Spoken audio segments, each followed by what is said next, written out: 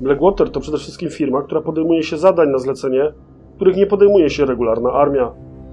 Witam Was bardzo serdecznie i zapraszam na materiał o historii Blackwater.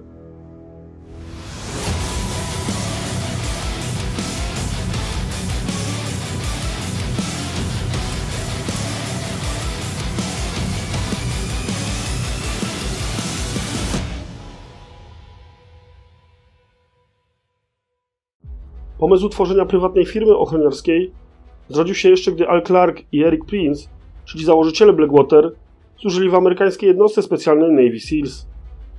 Powodów, dla których firma Blackwater w ogóle powstała, było kilka, ale głównym były problemy logistyczne jednostki Navy SEALs. Nie brakuje też głosów, że firma ta była częścią programu administracji Busha, polegającego na zmianie struktury organizacyjnej funkcji wojskowych, a nawet krajowych organów ścigania. Oficjalnie Blackwater został założony w 1997 roku w celu zapewnienia wsparcia treningowego dla firm ochroniarskich i mundurowych. Specjalnie pod to miejsce Eric Prince kupił ze swoich środków olbrzymią działkę, gdzie stworzył centrum szkoleniowe. Był to obszar około 28 km2 położonych na bagnach między Karoliną Północną a Virginią. Czarna torfowa ziemia oraz pobliskie bagna były wyznacznikiem nazwy nowej firmy. Blackwater od początku swojego istnienia stawiała na osoby, które posiadały świetne wyszkolenie wojskowe. Zatrudnienie mogli tam znaleźć przede wszystkim weterani jednostek specjalnych oraz byli żołnierze sił szybkiego reagowania. Firma kusiła ludzi pieniędzmi, ale także wymagała znacznie trudniejszych działań od swoich ludzi. Pomimo, że sami pracownicy nie lubili być nazywani najemnikami, to jednak jakby na to nie patrzeć, nimi byli.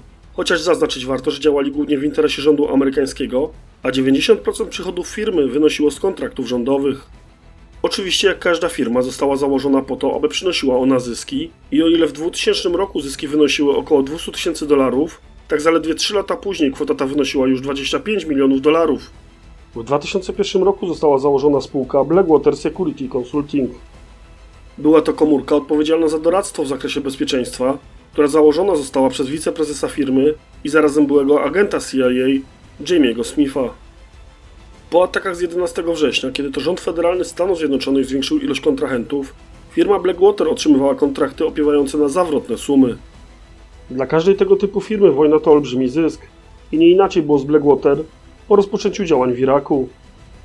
Głównymi kontrahentami firmy stały się rządowe instytucje takie jak Departament Stanu, Departament Obrony czy Centralna Agencja Wywiadowcza.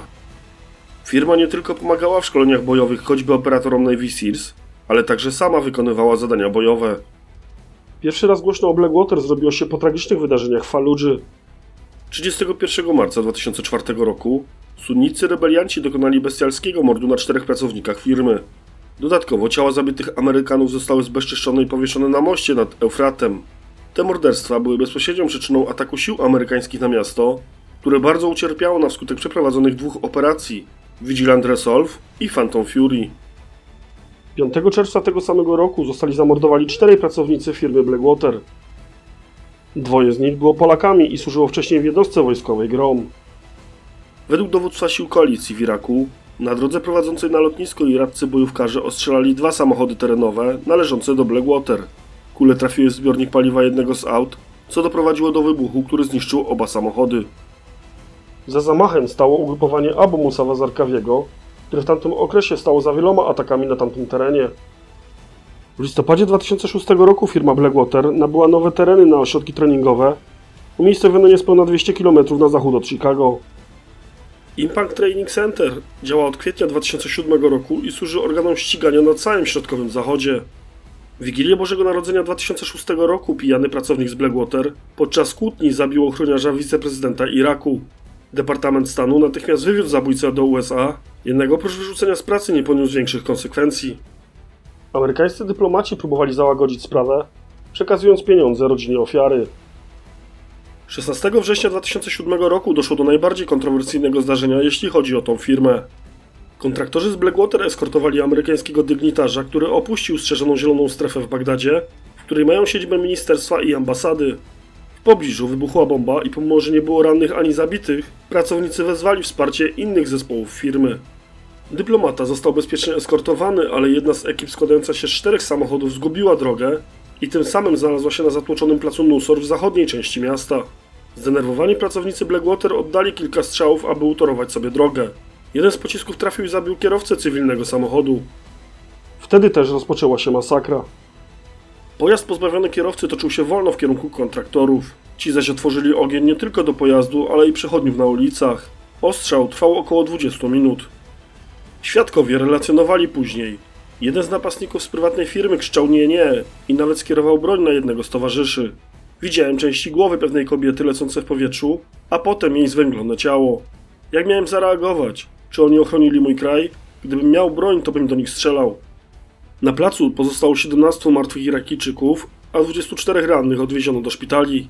Wśród ofiar śmiertelnych był 11-letni chłopiec, który znalazł się tam podobnie jak reszta ofiar przypadkowo. Dyplomaci Stanów Zjednoczonych w Bagdadzie pozwolili, aby to firma Blackwater przygotowała raport o strzelaninie dla Departamentu Stanu. W relacji tej oczywiście znalazłoby się zapewnienie, że kontraktorzy zostali zaatakowani i odpowiedzieli ogniem w obronie własnej. Nie udało się jednak uniknąć skandalu. Wrześniowa strzelanina w Bagdadzie wywołała taki gniew Irakijczyków, że Waszyngton musiał zareagować, a do Bagdadu pojechali agenci FBI, aby przeprowadzić dochodzenie. Swój własny zespół śledczy przysłał nawet Departament Stanu.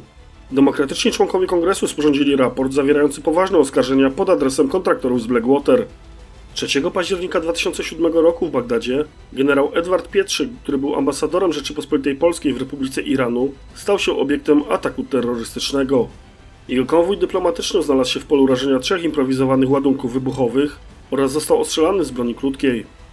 Polski ambasador bezpośrednio po wypadku poruszał się o własnych siłach, a dzięki pomocy Blackwater za pomocą śmigłowca został przetransportowany do szpitala. Podczas zamachu funkcjonariusz Boru, plutonowy Bartosz Orzechowski zasłonił ambasadora własnym ciałem, przez co odniósł bardzo poważne obrażenia ciała, w wyniku których zmarł później w szpitalu. Za swoją służbę został pośmiertnie oznaczony Krzyżem Komandorskim Orderu Krzyża Wojskowego oraz Gwiazdą Iraku. W październiku 2007 roku firma Blackwater rozpoczęła procedury związane ze zmianą nazwy na nową Blackwater Worldwide. 21 lipca 2008 roku firma Blackwater Worldwide oświadczyła, że odsunie zasoby od kontraktowania zabezpieczeń ze względu na rozległe ryzyko w tym sektorze. W lutym 2009 roku firma ogłosiła, że zostanie ponownie przemianowana, tym razem na XE Service LLC, a 2 marca tego samego roku Prince ogłosił rezygnację ze stanowiska dyrektora generalnego. W tym samym roku zrezygnował także z codziennej działalności wraz z niektórymi prawami własności. Rok później grupa prywatnych inwestorów kupiła ośrodek szkoleniowy w północnej Karolinie i wokół niego zbudowała nową firmę Akademii. W 2012 roku emerytowany generał brygady Craig Nixon został mianowany nowym dyrektorem generalnym Akademii. W 2015 roku poległo sześciu pracowników firmy, którzy posiadali kolumbijskie obywatelstwo. Zostali oni wynajęci przez Zjednoczone Emiraty Arabskie w celu stłumienia buntu Huti, który miał miejsce w północnym Jemenie. Rok później były przewodniczący Komitetu Rewolucyjnego utworzonego przez bojowników Huti poinformował, że w wyniku ostrzału zginęło ponad 300 pracowników Akademii, jednak tych słów nie potwierdziła sama firma, która niezwykle dba o zachowanie dyskrecji swoich działań. Firma Blackwater zwróciła uwagę mediów kontrowersyjnym działaniem oraz olbrzymimi wpływami. Póki będą odbywać się konflikty zbrojne, tego typu organizacje będą na usługach największych państw, ponieważ dla takich firm wojna to zysk finansowy. Ocenę działań Blackwater pozostawiam Wam. To wszystko o historii firmy Blackwater. Mam nadzieję, że materiał się podobał i zapraszam do subskrybowania kanału oraz dawania łapek w górę. Polecam także moją stronę na Facebooku, gdzie dowiecie się tematów przyszłych odcinków, a także różnego rodzaju ciekawostek. Do usłyszenia już wkrótce. Cześć!